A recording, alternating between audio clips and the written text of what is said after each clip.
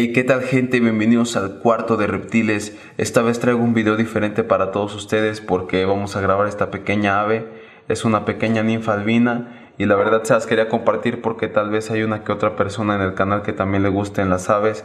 Ya tenemos rato con ella, pero no había subido por lo mismo de que no es un reptil y casi no me gusta subir cosas que no tengan que ver con reptiles en el canal. Pero bueno, eh, quería compartírsela solamente, tal vez a una que otra persona le agrade y pues que admire la belleza de esta hermosa. Eh, la elegimos blanca porque pues es lo más acercado a una cacatúa como tal, aunque las ninfas también son de la familia de las cacatúas, pero bueno, son más pequeñas que las cacatúas, alba, etcétera, etcétera. Y pues la verdad está muy bonita, me gustó mucho y su nombre es Winter, es un machito.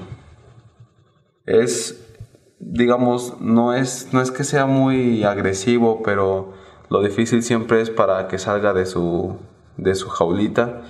Tratamos de...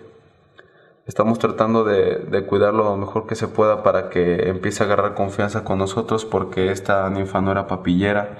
Entonces nosotros pues poco a poco nos hemos ganado la confianza de ella. Igual ya es un...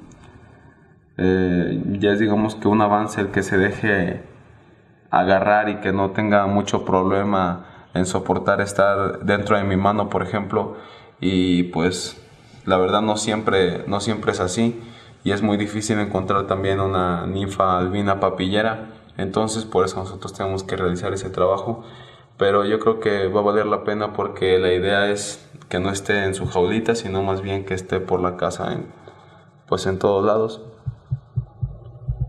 Y bueno, aquí les dejamos otra toma ya final de la ninfita.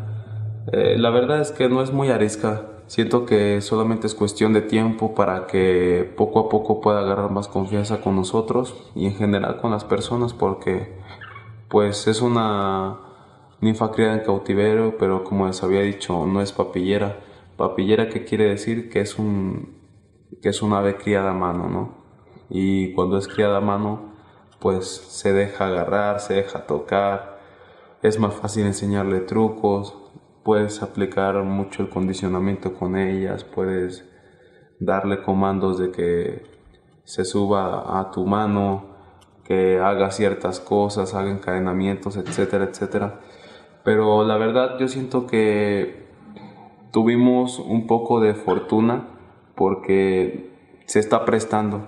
Apenas estamos empezando a, hacer digamos como que el entrenamiento con ella y más que nada ganarnos la confianza con ella porque es lo más difícil. Pero al no ser papillera y que ya se deje tener en la mano pues ya es un avance.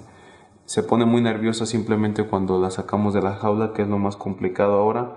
Pero la idea es que ella cuando vea nuestra mano lo identifique como algo positivo. Por eso ahorita yo estoy tratando de poner la mano y con alimento que que a ella le agrade para que se acerque a la mano y que poco a poco relacione la mano como algo positivo y no como algo negativo. Porque pues hay que ser sinceros, los, los las aves son muy nerviosas y se pueden asustar muy fácilmente con todo, se asustan con sonidos, se asustan con ruidos, se asustan cuando las agarras, etcétera, etcétera. Y pues bueno, yo creo que con esto ya vamos a despedir el video. Solamente quería compartirles esto, espero haya sido de su agrado. Y pues bueno, lo dejamos aquí con Winter, la pequeña ninfa. Y pues hasta luego, esto es el cuarto de reptiles.